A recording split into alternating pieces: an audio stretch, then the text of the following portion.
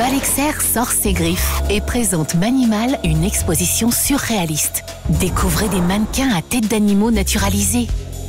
Gazelles, sangliers ou crocodiles jouent des scènes étrangement humaines. À Balexer, du 21 mars au 9 avril, petits et grands vont rugir de plaisir. Balexer, une nouvelle ère.